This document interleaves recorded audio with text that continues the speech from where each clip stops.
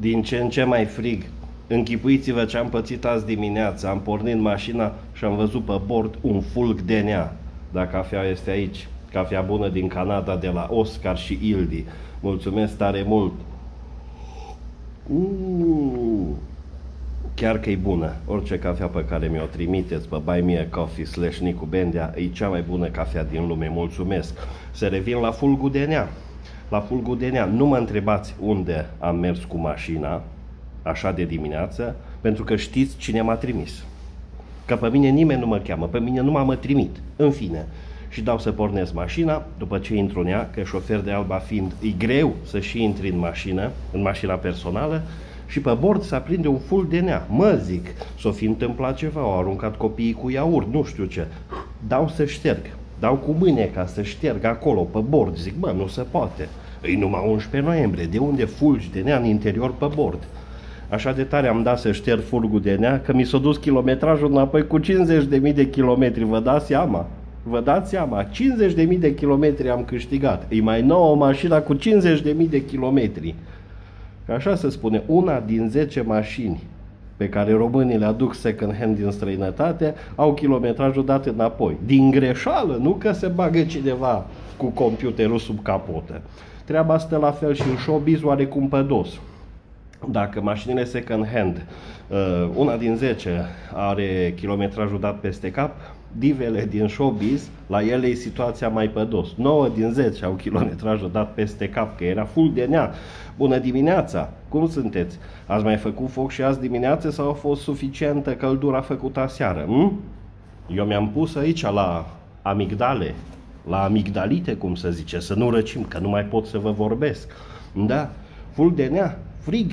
Și doamna Elena Udreaș și-a pus soțul la crăpat lemne. Am văzut o filmare pe net, ea filma, zâmbea, îl încuraja și fostul manechin cu dita mai bicep și crăpa lemne. Fostul manechin Alexandrov îi crăpa lemne Elenei Udrea. Mă, așa rău au ajuns ăștia. Încă nu-s chiar la sapă de lemn, îți la crăpat lemne fostul manechin și fosta, ei, pe vremuri cum se încălzea doamna Udrea, pe acolo pe la Cotroceni, pe brațele domnului Băsescu, alte vremuri. Noi ne mai încălzim cu o cafeluță canadiană din Toronto. Prima dată când am văzut că mi-a trimis cineva cafea din Toronto, zic, bă, ăsta e hrușcă.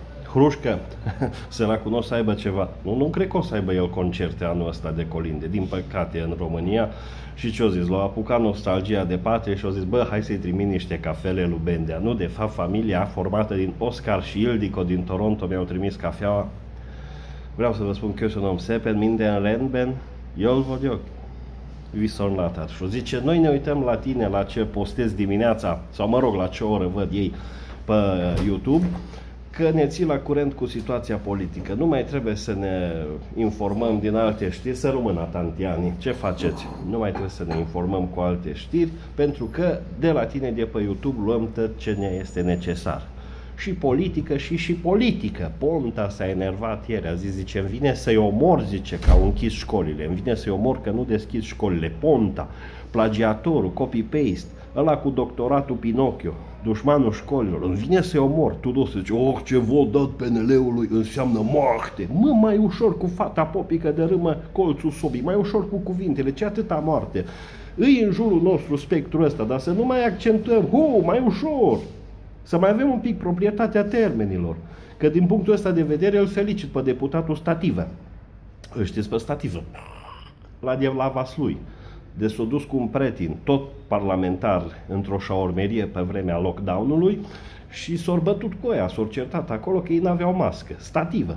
Băi, măcar omul ăla are proprietatea termenilor, sau cum să zic, tace din gură. În patru ani de mandat în Parlament a vorbit per total 15 minute. Vă dați seama? Minutul de aur. Câte mii de euro a încasat el pe un minut vorbit în Parlament, stativă, și mai candidează pentru un mandat. Hai să fim serioși. Bă, tot ăștia ajung în funcții. Cum e și cazul ăla nefericit, domne.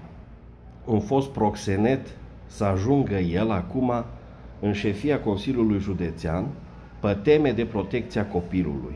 Lupi în piele de oaie, mă. Dar numai în România se poate întâmpla așa ceva. Că mulți zic, până mă, a plecat din PSD, ne doare... Mă Pop Liviu Marian a plecat din PSD, a zis că nu mai suportă dictatura din PSD. Ce să și crezi? După ce a făcut el ce a vrut acolo, a fost mare boss, mare lider local, a plecat din PSD. Oare unde s-o fi dus? Mulțumesc de cafea, buy me a coffee slash Nicu Bendea. Oare s-a dus acum că de Black Friday uh, au nevoie magazinele astea, mari retaileri, retaileri au nevoie de mână de lucru?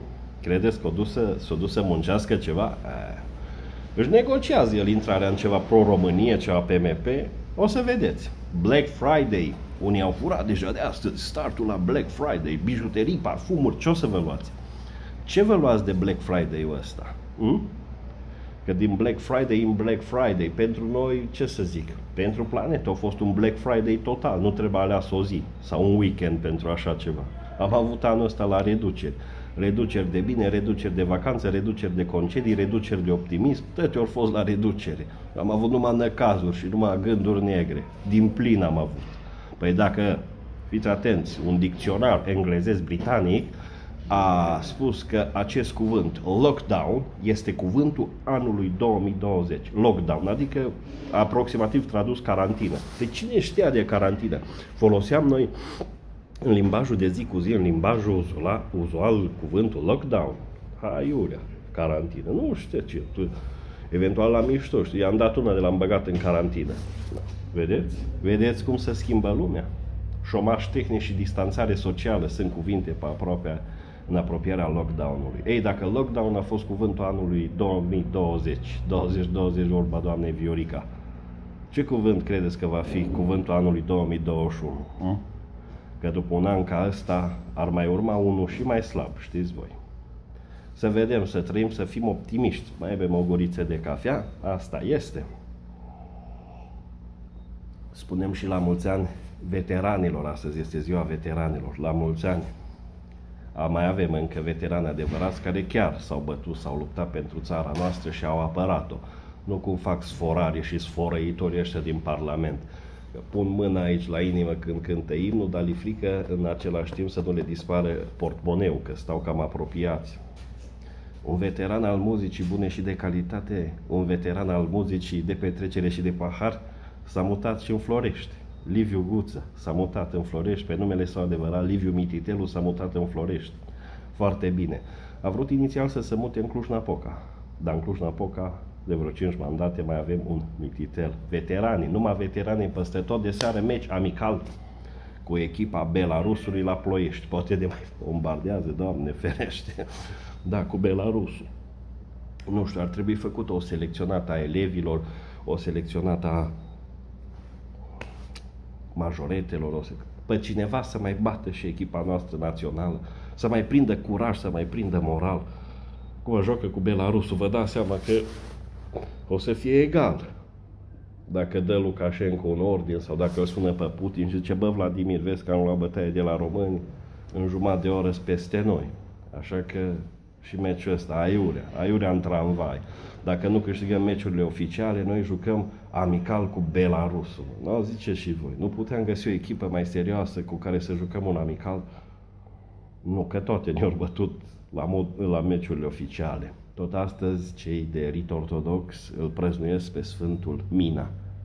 Da, da, toți ar trebui să-l sărbătorim, să-l aniversăm pe Sfântul Mina. Știți cine este Sfântul Mina în tradiția populară, în, tradi- în tradiția creștină? Sfântul Mina este ocrotitorul celor păgubiți. Dacă ar fi pe liste, l-am votat pe Sfântul Mina să ne ocrotească pe toți, că anul ăsta a fost un an de tătă paguba. Și șașa ne-au păgubit ei și ne păgubesc că ea mai mari cum apucă, dar anul ăsta lockdown total. O zi bună, o zi ușoară, o zi... Chiar câte amenzi s-au mai fi dat în noaptea asta, că iar au fost ceață. Noaptea trecută s-au dat amenzi de 300 de mii de lei. Să trăiți! Fetele, păsările de noapte fac atâta într-o oră, numai lăsați-le să lucreze. Așa, 300 de mii de lei. Și apoi după aia merg în instanță și le contestă și scoatem poliția pe stradă, tăiem copacii să le facem chitanțiere, aiurea. Va trece și perioada asta, va trece și sperăm să fie bine. Un Black Friday fericit vă doresc și fără prea mult lockdown. Bye bye! and buy me a coffee. Asta e, vorbim în neologisme. Nu mai avem cuvinte de ale noastre neaoșe. Salutare! Să ne vedem cu bine și mâine, cam de la aceeași oră. 10, 10 și ceva fix.